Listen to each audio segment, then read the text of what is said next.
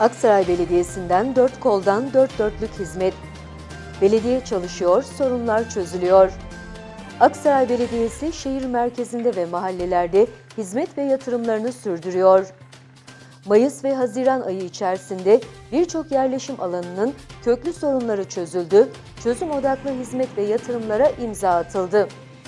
Belediye Başkanı Evren Dinçer öncülüğünde hız kesmeden hizmet üreten belediye ekipleri, vatandaşın huzuru ve konforlu yaşam alanlarına kavuşması için gece gündüz çalışıyor.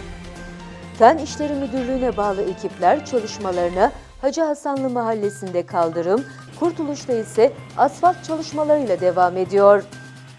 Sağlıklı ve kesintisiz içme suyu çalışmalarında ise ekipler Hürriyet Mahallesi Dağılgan Yol Güzergahı üzerinde.